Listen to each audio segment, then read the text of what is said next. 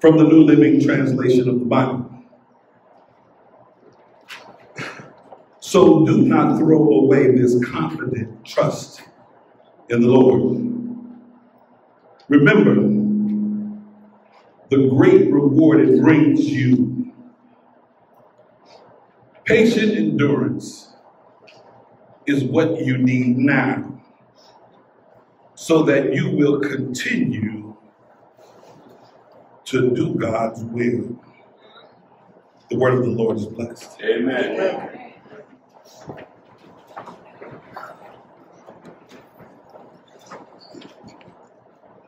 For a few moments on this morning, I want to talk to you from the subject an unyielding foundation. All right. An unyielding foundation. And for a theme, I want us to ponder after 63 years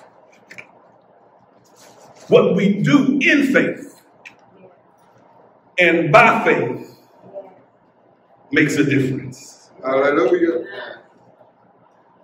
It makes a difference. We've come to celebrate 63 years of Hope Missionary Baptist Church in Central Islip, New York. Somebody should have gave God praise.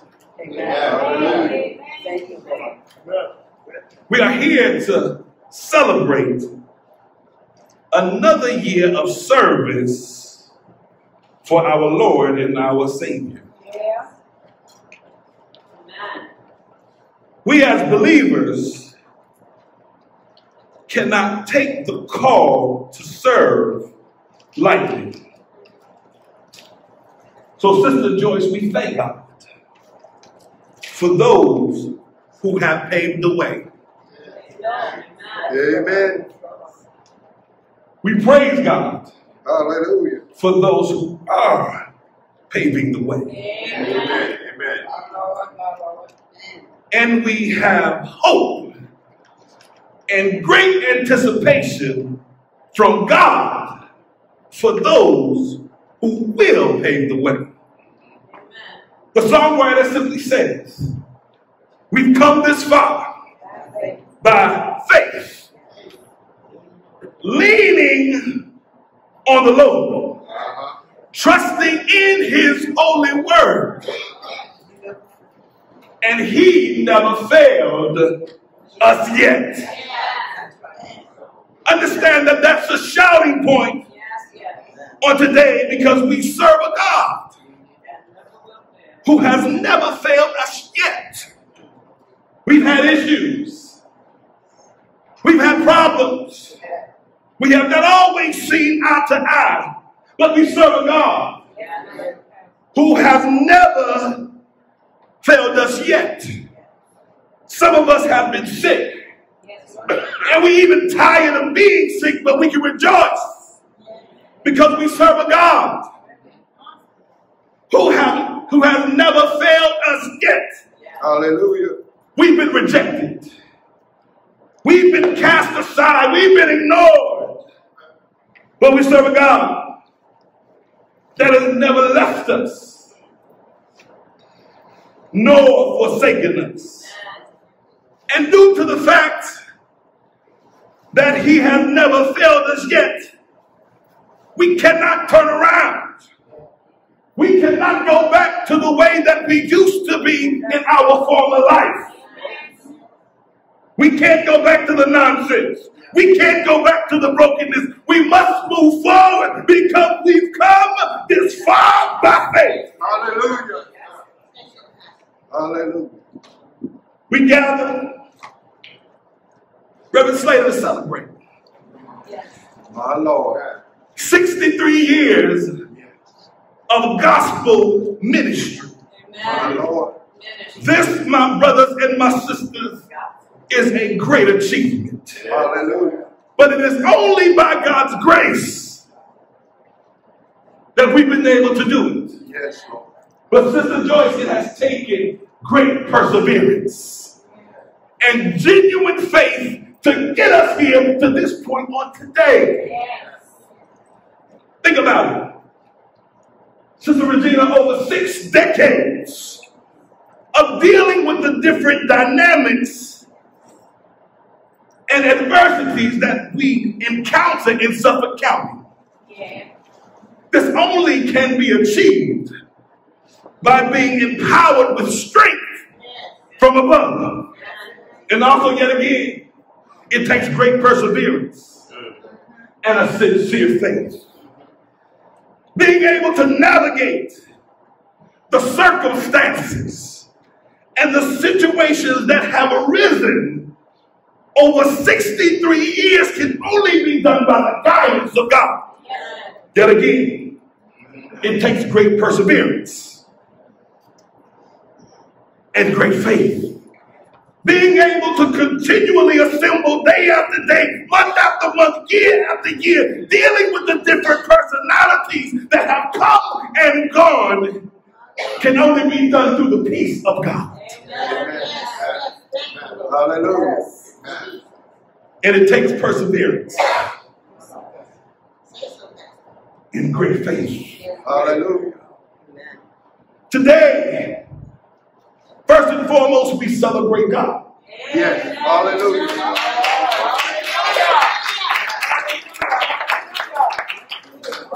But we celebrate the fact that He has bestowed upon us, Deacon Woods, the perseverance to see 63 years through. And He's given us the faith to do what needs to be done. No, it hasn't always been perfect. But God uses the imperfect. My God. Somebody missed that. God uses what is imperfect to do his perfect will. We give God the praise on today because he's bestowed upon us, upon us the power to make a difference in our community. And let me throw this in parenthetically. This community would not be the same if there was no HMBC. And I want you to be encouraged on today, no matter what your circumstance may be, that with God, With God. You have the power to make a difference and to make it through. Sometimes we experience resistance as we walk this Christian walk, but we have the power Yes. to make a difference and to make it through. Everybody ain't gonna like us, but we have the power to make a difference Hallelujah. And to make it through we weeping may endure for a night. All right. But we have the power Yes. to make a difference and to make it through. The songwriter says, Great is thy faithfulness. Yes. Morning by morning, Morning by morning. new mercies, ancient HMBC, New mercy. all that we have needed over 63 years. New mercy. New Thy mercy. hand has provided for 63 years. Great is thy faithfulness. Do I got a church up in here, up in here? Great is thy faithfulness. Yes. Lord, to HMBC, Mercy. Mercy. we can shout with the voice of triumph. We can give praise and we can celebrate simply because God has been faithful. He is faithful and he will always be faithful. Preach, sir. Preach. We can't pat ourselves on the back because it is God and God alone that allows us to have the strength that he gave us. To be able to persevere through the storm and through the rain. By persevering, we have continued to hold up the blood-stained banner. We have continued to spread the good news all over the world. We have continued to draw the sinner and encourage one another, even in the midst of difficulty and frustration. And all of this has been done for the glory of Almighty God because He has made it happen through our faith. Hallelujah. The message Bible says, and we understand that it- it is a fundamental fact that this trust in God, this faith, is the firm foundation under everything that makes life worth living. Yes, God. It is our handle on those things that we cannot see. The act of faith is what distinguished our ancestors and set them above the crowd. Hallelujah. The author of Hebrews neither names himself nor clearly designates his audience. Are y'all with me, Bible readers? All right. However, we gather from the original title, which is to the Hebrews, All right. that the original recipients of the letter were Jewish Christians. Amen. The reader, my brothers and my sisters, is encouraged to continue to have confident trust in the Lord. Yeah. Hope Missionary Baptist Church, after 63 years, we must continue to have a confident hope in God. I don't care what you're going through. He is our confident hope. Believe. I don't care who comes or who goes, but He is our confident hope. We may be sick in our body, we may be destitute, but He's still our confident hope. Yes. And not only must He be our confident hope, the writer encourages the readers to reflect on the blessedness of God. Think about all that you've been through. The frustration, the hurt, the disappointment, the fact that life is trying to take you out. Hallelujah. But there's still time to reflect on the goodness of God. Why? Because in the middle of all of that, My Lord. He didn't leave you to go through it alone. Hallelujah. Hallelujah. He has never left us nor forsaken us. And for that, Mm. it gives me hope. Even in the midst of hopeless situations, so we continue to have a confident trust. Yes. Yes. We reflect on the blessedness of God in the good times and the bad times. Amen. And we understand that in the end, we will receive all that God has promised. Amen. Right. He never said there won't be any suffering. He didn't say everyone would accept the gospel from us. Amen. But what he does say is be faithful. Amen. And understand HMBC, and God places in my spirit. If you're faithful over the little things. Somebody missed that. See, we want to jump out into the big things. We want to go, we want to go out into the deep with the floating zone. All right.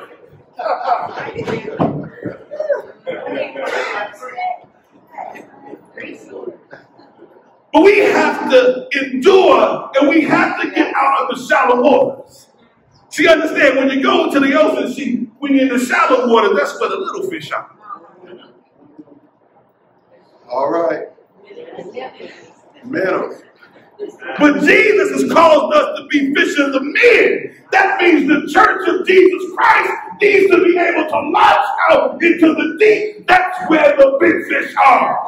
And we can only launch out into the deep, Sister Sue, if we walk by faith and not by sight. The author lets the reader know that Christ is greater than any angel, any priest of any old covenant institution. And the reader is strongly encouraged to forsake not the salvation found in Jesus Christ. All right. We must grasp the fact that faith is necessary. Not the faith of your mother. Not the faith of Big Mama. Not the faith of the deacons. All right. It's a personal thing. I can't march you through the gates. I can just point you to the gate. Amen. Hallelujah. But it is your job to make sure that you make it through. You're not going to be able to get up to the pearly gates and blame Pastor Wilson. You're not going to be able to say, well, Deacon Wood, no, you don't want to hear that. Well, you figure. All right. Did you do what you were supposed to do? Did you walk according to your purpose and your call? I don't know about you. Life has been too much of a struggle not to hear well done. Amen. Amen, lights. Because life is a struggle, but in the end, I want to receive that reward, Reverend Slater, and hear well done, thou good and faithful servant. Hallelujah. And I explained yesterday in the pastoral installation to Pastor Harris that being a pastor is a call to serve, not to be served. All right. All right now. Tell it like it is. You, you talking big, Deacon Woods, because called to be a deacon. Like it is. the same like thing. Amen? Amen. But we are all called to wash one another's feet. Yeah. Somebody missed that. We are to serve and love one another.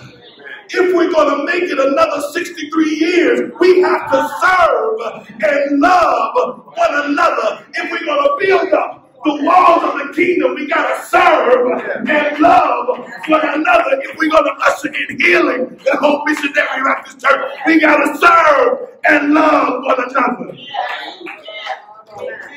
Hallelujah.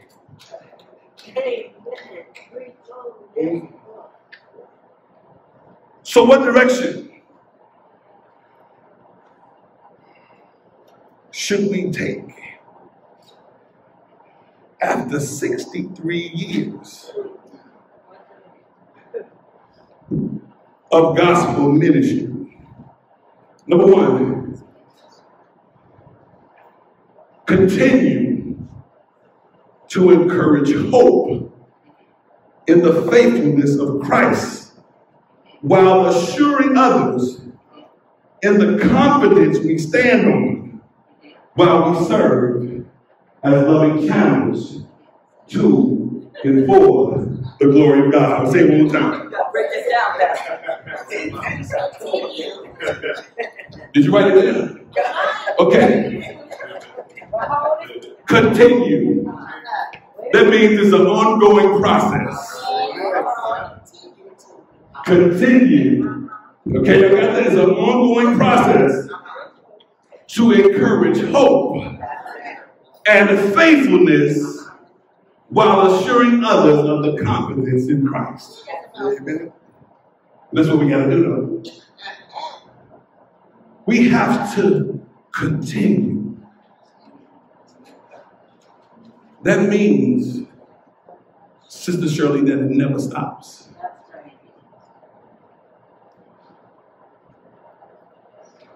We have to encourage, even when we don't feel like it. All right. We have to love folk, even when we're angry with them.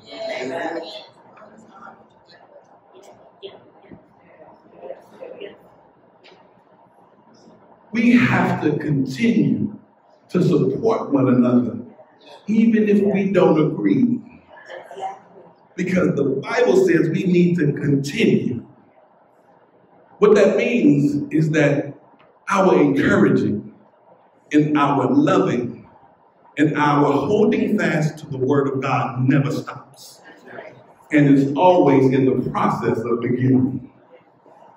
So the church must continue to encourage.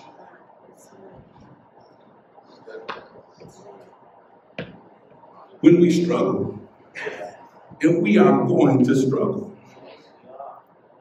we must continue to encourage.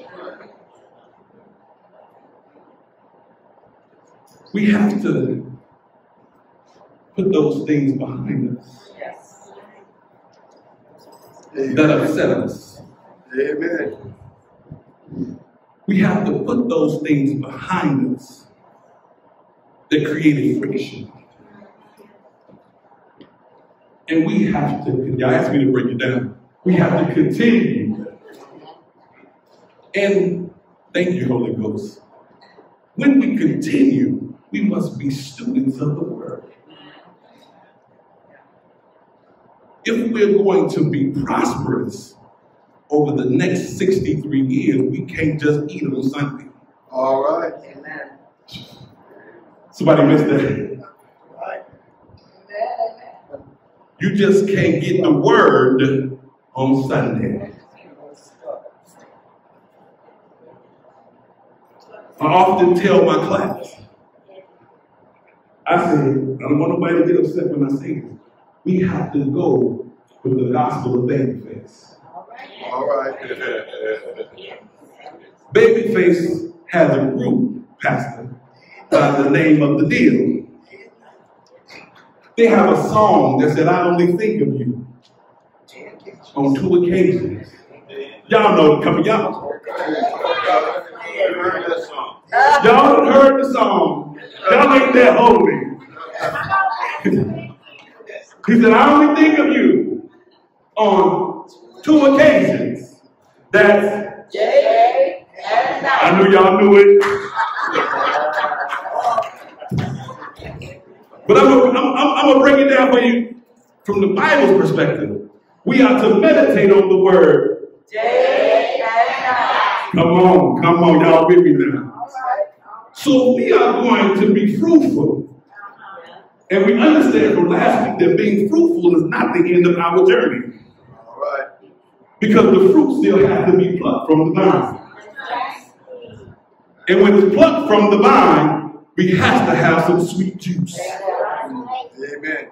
So the only way that we are going to make it successfully is meditating on God on two occasions. That's Day and night. all right. Point number two. Y'all got that? Praise God. We have to exercise.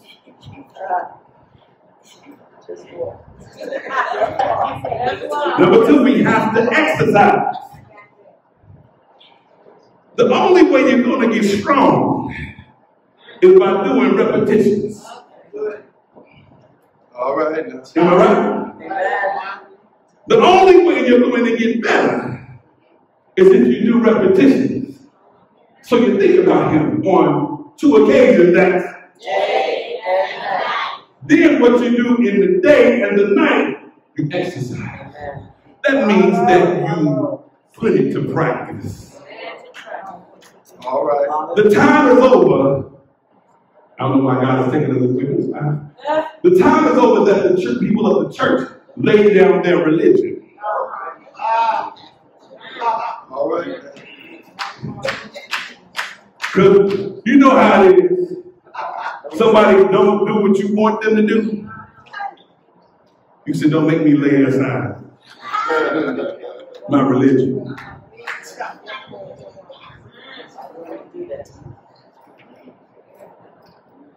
Nowhere in the word did it ever say you can lay God aside.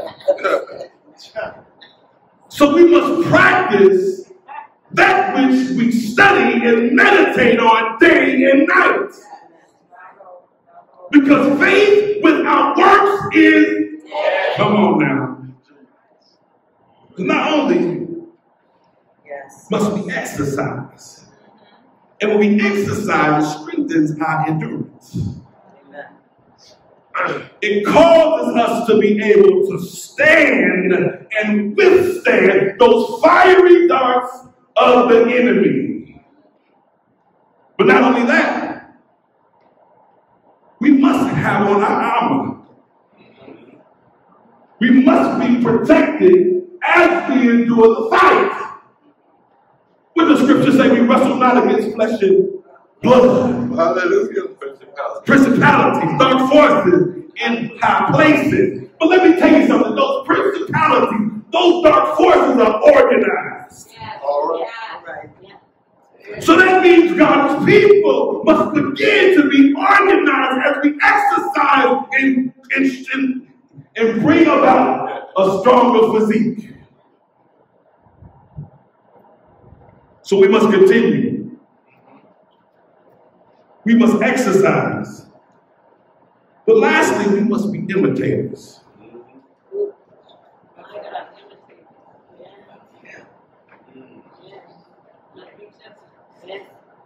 Imitators of Christ.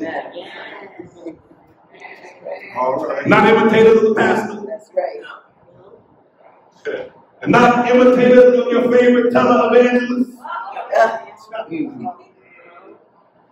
Not imitators of anybody you watch on TV, on TikTok, Facebook, Instagram, monogram. Imitators of the true and living God. So we got it now. We continue to encourage. We exercise and we imitate. Understand, if you desire to build on a firm foundation, you will receive all that God has promised. If you desire to truly be what God has called you to be, you will receive what God has promised.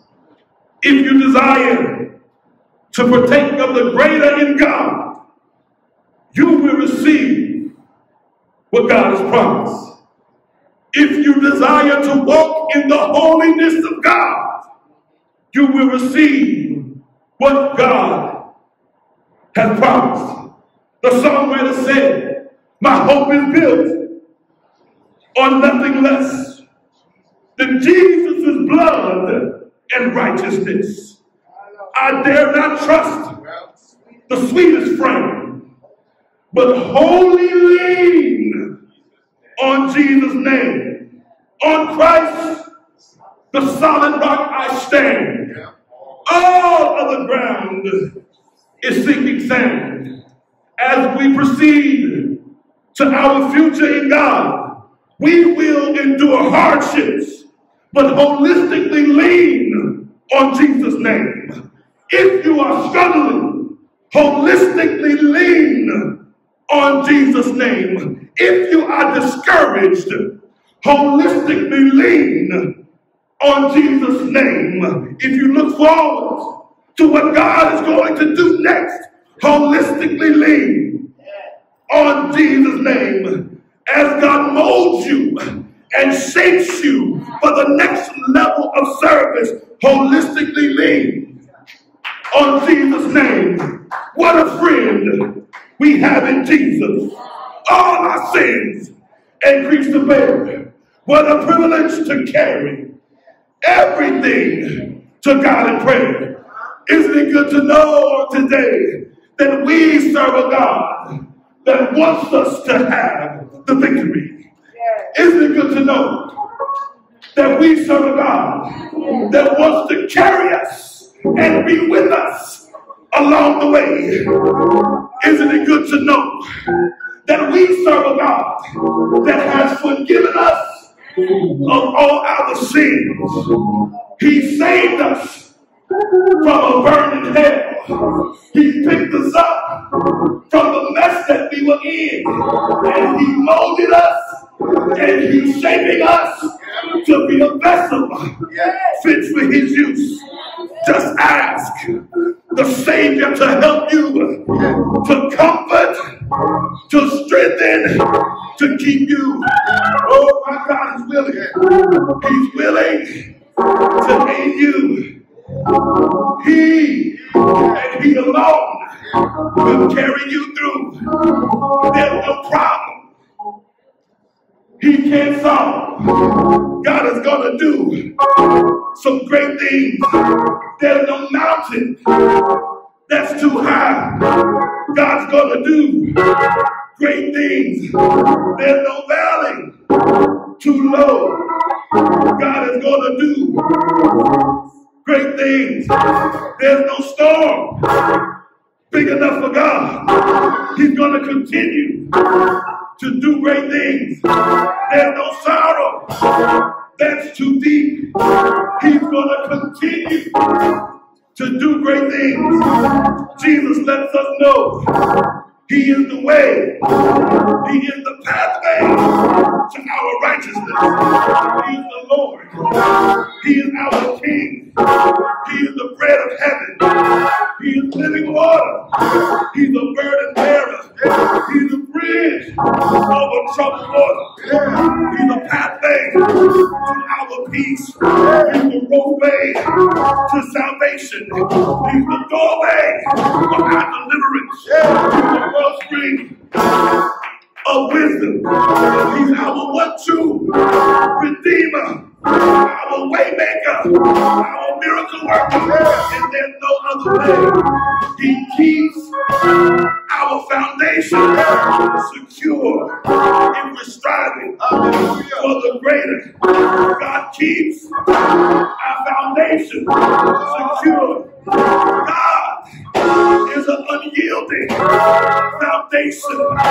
When trouble comes, God is an unyielding foundation. In our hour of despair, God is an unyielding foundation. Where there's division, God is an unyielding foundation. The yoke not always easy. And the load, it gets heavy. But God is an unyielding foundation with the lost. And we can't find the free. God is an unyielding foundation in the midst of serving. There will be tears. There will be struggle. There will be disappointment.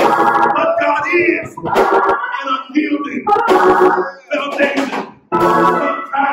Sometimes like I can't make it. I feel like I can't go on. I feel like I'm going in the town. But I remember that God is an unyielding foundation. A mighty fortress is our God. A bulwark that never fails. Our helper. He amid the flood mortal ills. Prevailing. 63 years. He's still our man. He's still our victory. He's the Lord of all. He's our deliverer. He's our light in the midnight. He's the manifestation of sacrificial love. He forgives sins. He directs paths. He strengthens our spirit.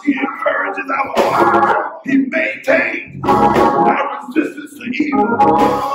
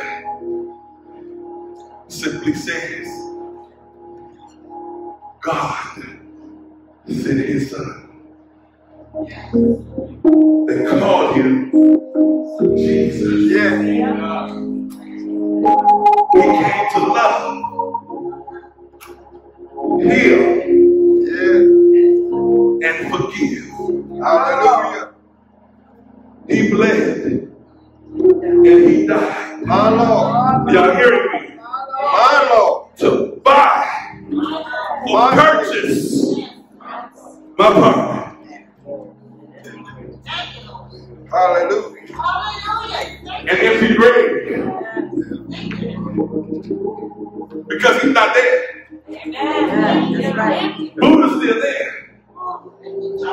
Muhammad's still there.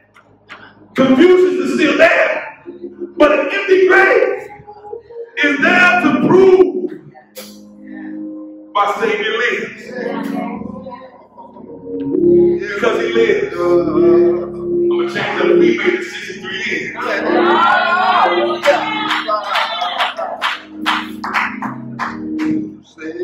because he lives. Sister Lily, you can do ministry.